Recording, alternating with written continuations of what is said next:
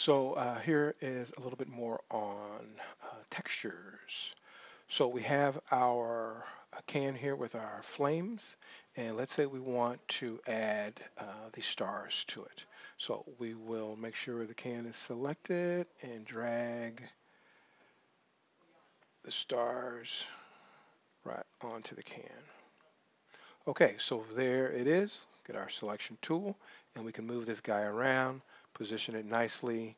Uh, we can move it below the um, graphics that we have on there. We can uh, also change the scale of this. If we use um, the squares similar to how you change the scale of an object. Uh, let's get this the same here and let's make it 10 and 10. 10. Oops, we've got to change that, take that link off, and then we can make it the same. All right, we also have the option of, as you can see, the placement is a decal. We can make this a fill so that it automatically fills the entire um, object. So I can rotate all the way around and I could still have my graphics, my labels on top of that. Select that label and we can move that like so.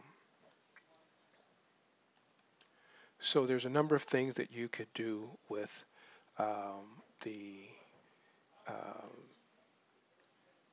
textures and the graphics. I mean, you could make this one also a fill, but it won't look as nice because it wasn't, you know, really designed for that. So you'd set that back to decal. And of course, if I didn't want the stars and stripes or just the stars, uh, I could uh, set that back to decal. And if I want to move or if I want to remove one of these, all I have to do is select it and hit the trash can. Just like that. So the graphics are fairly easy to work with.